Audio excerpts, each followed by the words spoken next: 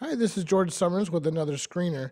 I wanted to show you uh, a nice trick I found for Firefox on the Mac for uh, printing selected text. Now, if you uh, are used to running a Windows machine, you know that uh, if you go to Internet Explorer, one of the print options that you have available is print selected text. But uh, up till recently, I didn't think you could do this on a Mac, and I've been looking and looking. Well, finally, I discovered it.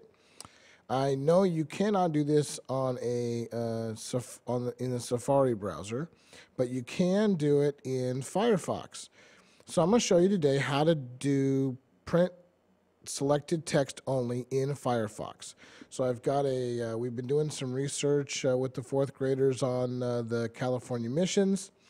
I'm going to highlight some text that I want to include, but I don't want the rest of it. Let me just get the selection that I want. Okay. So now I'm going to go to the File menu and choose Print. Now, one of those options that comes up, but not by default, is you can choose um, the Firefox option here for for a list of further options. You know, you've got your layout, your color matching, your depending upon your printer will look a little bit different.